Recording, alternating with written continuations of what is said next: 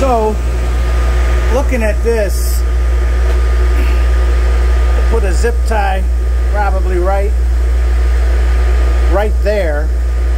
So then this will switch. Click, you can hear it. You can hear it click. See that? You want to secure it tight there. Click, click. If we let it float in the breeze, just going to do this. No click. It'll never actuate. Okay.